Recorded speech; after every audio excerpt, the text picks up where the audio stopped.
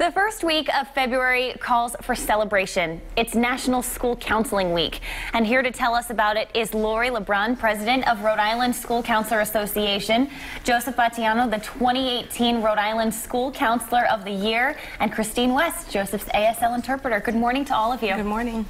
Good morning. So happy to have you all with us today. Lori, let's start with you. Tell us a little bit about this week. How long has it been around for? National School Counselor Week has been around for a very long time. Um, we, it really is a, a, week to celebrate school counselors um, and bring an awareness to what school counselors do mm -hmm. on a daily basis uh, with the students that they work with. Because school counselors are slightly different than guidance counselors, yes. right? Yes. So quite a while ago, ASCA changed the name from guidance counselors to school counselors because it's a very different role. Um, school counselors now um, go out into classrooms, they do group lessons. They, uh, of course, do individual counseling with students. Mm -hmm. um, but it's a very different role so that we can meet the needs of all of our students. We have very large caseloads. Mm -hmm. um, right now, I have about 380 students on my caseload. Wow. So in order to meet their needs, we do have to go out and connect with them in, in other ways than just in our office. Certainly. And yeah. Joseph, you're one of those who does connect with these students. Where do you work and just how many students would you say you interact with on a daily basis? I actually work at the Rhode Island School for the Deaf in Providence, and I work with all the deaf students who attend. I have about 85 students, and all of them have individualized education plans, and the age span goes from kindergarten all the way to grade 12. What what piqued your interest in becoming a school counselor? Did you have an instance, maybe growing up, that you see you sought some guidance from a counselor? What was it for you? Well, actually, uh, my first undergraduate major was TV production. and then it just so happened that I worked a side job. And there was one student there who attended a group home. And that student said, I think you'd make a great counselor. And I never really thought about that before. And I said, yeah, maybe you're right.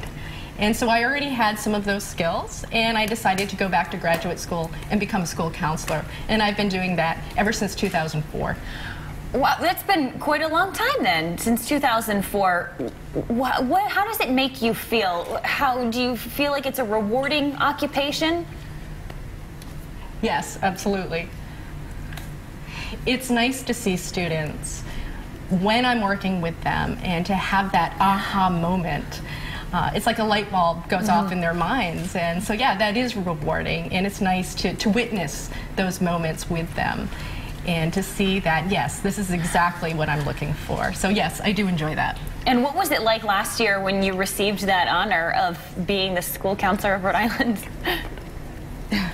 it's funny because I wasn't expecting it actually. Mm -hmm. I was just uh, sitting down and the person who won the award last year was talking about it and I thought it would be any of us who were in attendance that day uh, and felt that it should be. And so then the uh, discussion became a little bit more specific, mm -hmm. and then I realized they were talking about me. And I was very surprised and very honored. Mm -hmm. And I was happy that my family could share that moment with me. It really is a huge honor, and I'm so glad that you took the time to sit with us here today, kind of combining both worlds, because I know you said you started in TV production, so it's nice to have you back in this element. Thank you. Lori, uh, if we want to nominate anyone, is there time to do so? If there is a, a special, you know, school counselor in, in, our life or that we want to give recognition to? So typically the uh, nominations go out in around the fall, late mm -hmm. summer and the fall.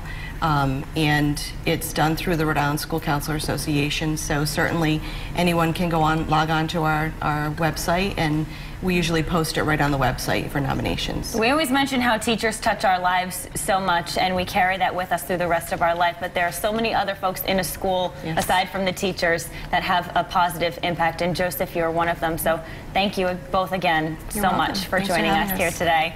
Thank you. And, and thank you too, Christine. Uh, if you know someone in your life that has made an impact, please make it known to them because we want to acknowledge them. And uh, thanks to all of you for coming in, tell us, telling us about this important week. And thanks to all of you who are school counselors out there.